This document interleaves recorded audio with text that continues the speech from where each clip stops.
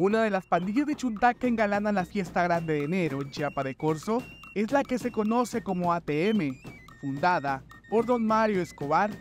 Actualmente, sus familiares mantienen vivo su legado. Nosotros empezamos a salir en el 2007 cuando mi tatarabuela todavía vivía, descansa en paz. Eh, ella cumplía años el 22 de enero. Mi bisabuelo nos organizaba que hiciéramos por parejas un sketch para que le hiciéramos gracia a ella. Claro, conmemorando la feria y la fecha de cumpleaños que tenía ella, pues le hacíamos la gracia. Se le ocurre la idea a mi bisabuelo en que saliéramos a recorrer todas las calles, la Alganavía, la Rechura, que tiene Chiapa de Corzo.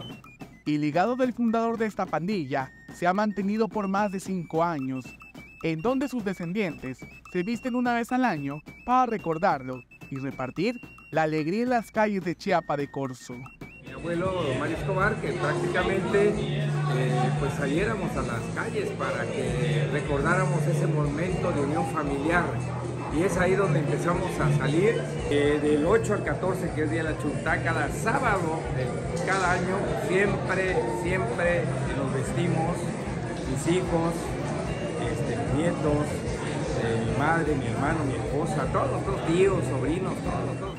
Y el nombre de esta pandilla surge del negocio que tenía en ese entonces el fundador. Al día de hoy, esta familia abre las puertas de su casa para recibir a quienes gustan acompañar en el recorrido que hacen año con año.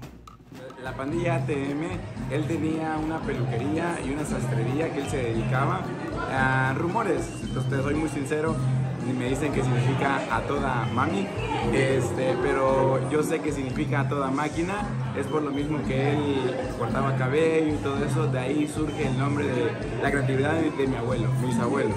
Afortunadamente pues trabajamos en comunidades, venimos este, acuerpándonos cada fin de semana para que podamos salir una vez al año, buscamos que sea por lo regular un sábado para que todos podamos organizarnos y salir a danzar por todas las calles. Dale algarabía Agradecieron a la ciudadanía que los acompaña todos los años en este recorrido e invitaron a las personas que están interesadas en participar a que pueden unirse el próximo año con ellos. Pues agradecerles profundamente la participación de cada uno de ellos. En realidad este, es una fiesta del pueblo, es cultura, realmente sobre todo algo importante, es una chuta familiar. Sí, invitamos a todo, el, a, todo el pueblo principalmente y por supuesto a nuestra capital de Tuxtla Gutiérrez y por que se queda muy cerca de nosotros a participar, sobre todo esto es una tradición muy bonita que viene milenariamente compartiendo con todo aquí en Chiapas de Corzo. Para Alerta Chiapas, Eric Chandomí.